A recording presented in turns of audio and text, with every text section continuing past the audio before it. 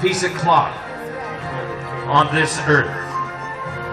You know, as you look at that flag, I want to share a story with you. I had a guy the other day tell me that this country was in the worst shape she's ever been.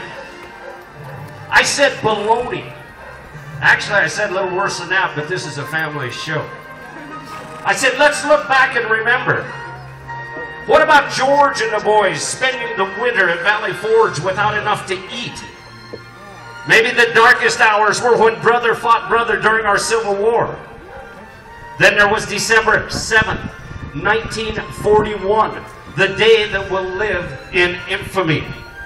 And many, many of us here remember September 11th, 2001.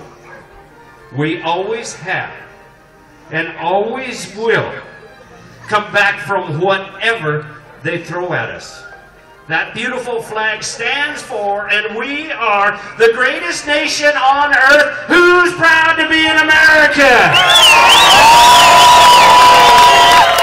Just when you don't think it can get any better? Well, it can, as I'm giving the microphone to Jenna Sinton with our national anthem.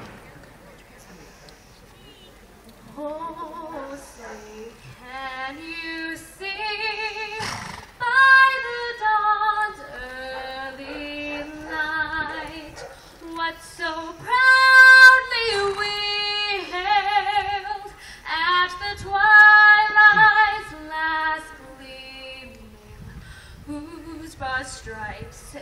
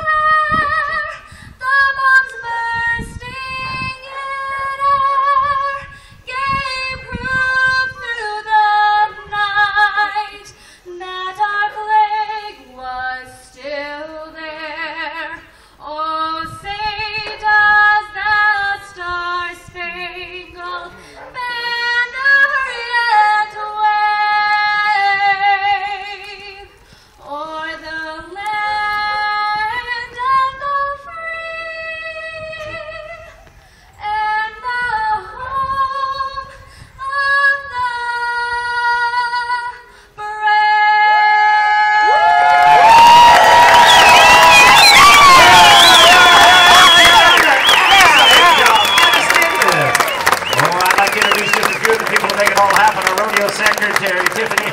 Well, let's see you shouting here. Uh, time to run in the eight second order, Lori Miner and Fancy Pulliam. Our rodeo judges chosen for their honesty, their integrity, and knowledge of the sport and sanctioned by the Northern Rodeo Association, Phil Lubin and Ray Buffington. Forsyth and Billings.